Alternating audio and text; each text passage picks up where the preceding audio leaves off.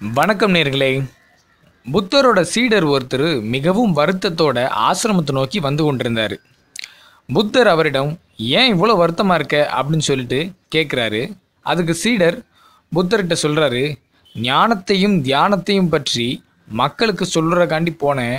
ஆனால் யாருமே நான் சொல்கிறத கேட்கல அப்படின்னு சொல்லி சொல்கிறாரு நீ எத்தனை பேர்கிட்ட போய் போய் பேசின? அப்படின்னு சொல்லிட்டு புத்தர் வந்து கேட்குறாரு அதுக்கு அந்த சீடர் சொல்கிறாரு நான் ஒரு மூணு பேர்கிட்ட போய் பேசினேன் அப்படின்னு சொல்லிட்டு கேட்குறாரு அப்படியா? நாலாவது ஒரு ஆளை சந்திச்சிருந்தேன்னா ஒருவேளை நீ சொல்கிறத கேட்டிருப்பாரோ என்னவோ அப்படின்னு சொல்லிட்டு புத்தர் வந்து பதிலளிக்கிறாரு நான் சந்தித்த அந்த மூணு பேருமே கேட்கல நாலாவது ஆள் மட்டும் நிச்சயம் நான் சொல்கிறத கேட்பார் அப்படின்னு சொல்லி எப்படி நீங்கள் வந்து சொல்கிறீங்க அப்படின்னு சொல்லிட்டு சீடர் வந்து கேட்குறாரு சரிப்பா அந்த மூணு பேரும் எப்படிப்பட்டவங்க? படித்தவங்களா பணக்காரங்களா? அப்படின்னு சொல்லிட்டு புத்தர் வந்து கேட்குறாரு மூணு பேருமே பிச்சைக்காரங்க அப்படின்னு சொல்லிட்டு இந்த சீடர் வந்து பதில் சொல்கிறாரு சரிப்பா அந்த மூன்று பேரையும் என்கிட்ட அழைச்சிட்டு வா.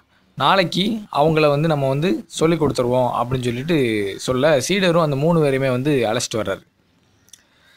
புத்தர் முதல் பிச்சைக்காரர்கிட்ட கேட்குறாரு நமது மடத்தில் மதிய உணவை இலவசமாக தருகிறோம். உணவு உண்ணும் முன்பு தியானம் செய்வது வழக்கம்.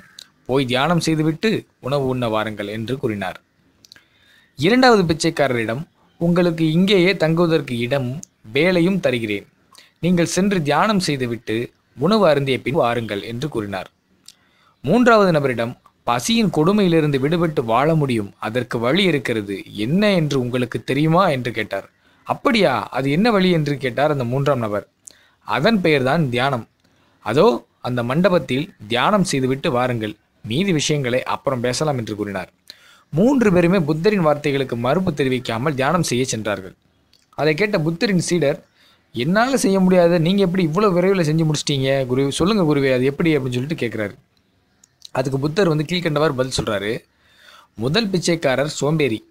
அவருக்கு உணவும் இருப்பிடமும் இலவசம் என்றாலே அவரை திருப்பி விடு திருப்தி விடுத்து விடலாம். இரண்டாவது பிச்சைக்காரர் உழைப்பாளி. அவருக்கு வேலையும் மற்ற அடிப்படை வசதிகளும் கிடைத்தால் போதும்.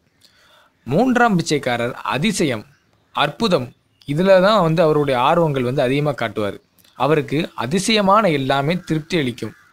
தியானம் என்பது ஒரு மருந்தாக இருந்த போதிலும் மூன்று பேரின் தேவை எனும் தேனில் அதை குலைத்து கொடுத்தேன் அவர்கள் ஏற்றுக்கொண்டார்கள்.